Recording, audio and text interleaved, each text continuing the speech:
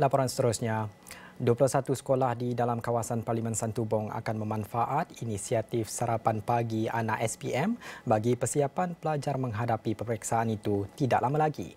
Ahli Parlimennya yang juga Menteri Pembangunan Wanita Keluarga dan Masyarakat, Datuk Seri Nancy Shukri berkata, setiap sekolah diperuntukkan RM5,000 daripada dana Parlimen Santubong untuk inisiatif berkenaan keseluruhan sekolah yang kita akan anjurkan, kita dah mulakan dengan uh, uh, dua sekolah dah. Eh. Jadi totalnya 21 buah. Kita, akhirnya di Lundu, uh, 29 bulan.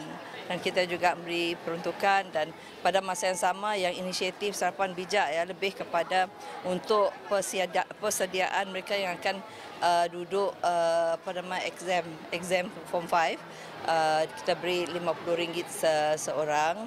Uh, ini di bawah tajaan Yayasan Kebajikan Negara di bawah Kementerian uh, Kementerian KPWKM ya Beliau berkata demikian ketika menghadiri majlis simbolik inisiatif sarapan pagi anak SPM Parlimen Santubong dan majlis apresiasi pelajar cemerlang SMK Santubong Kuching pada Khamis.